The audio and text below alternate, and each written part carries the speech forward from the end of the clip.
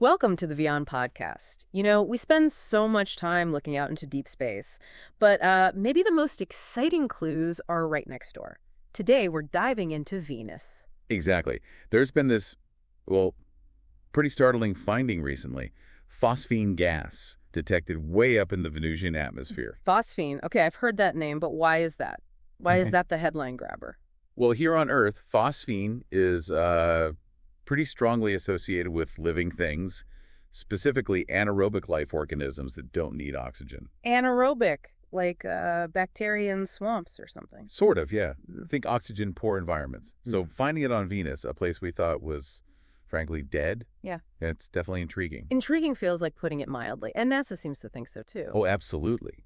NASA Chief Jim Bridenstine actually called it the, and I quote, most significant development yet in building the case for life off Earth. Big words. Wow, okay, that's huge. So he's pushing for more focus on Venus then. He basically said we should be prioritizing Venus, which is a major statement. So what does prioritizing look like? Are there actual plans? Well, they're in the process. NASA is looking over four mission proposals right now. Four.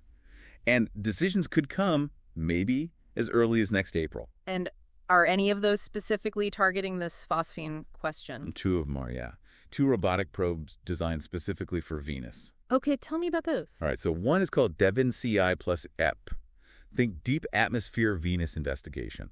Its whole goal is to uh, drop a probe right into the atmosphere. Get down in there and sniff around, basically. Pretty much, David Grinspoon, an astrobiologist on that proposal team, said it's the logical next step, you know, to really see what's going on in the atmosphere. Makes total sense. Find the phosphine, figure out where it's coming from. What's the other one? The other one's called Veritas.